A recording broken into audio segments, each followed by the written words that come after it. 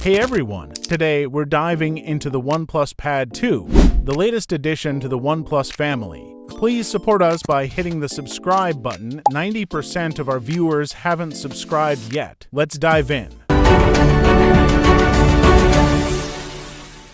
Design and display. The OnePlus Pad 2 boasts a sleek and modern design with a 12.1-inch 3K OLED display that offers stunning visuals and vibrant colors. The 7 to 5 aspect ratio provides an immersive viewing experience perfect for watching movies, playing games, or browsing the web. Performance Under the hood, the OnePlus Pad 2 is powered by the latest Snapdragon 8 Gen 3 chipset, ensuring smooth and responsive performance even for the most demanding tasks. With 12 gigabytes of RAM and 256 gigabytes of storage, you'll have plenty of space for all your apps, games, and files.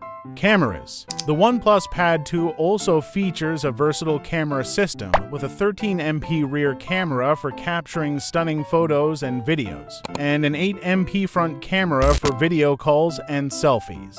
Battery life. With a massive 9510 mAh battery, the OnePlus Pad can easily last through a full day of use on a single charge. And when it's time to recharge, the 67 watts wired charging technology gets you back to full power in no time. Other features. The OnePlus Pad 2 also includes a USB-C port for fast data transfer and charging and comes in a sleek Nimbus gray color. Overall, the OnePlus Pad 2 is an impressive tablet that offers a great combination of performance, features, and design. Let us know in the comments below if you have any questions. Don't forget to like the video and subscribe to the channel.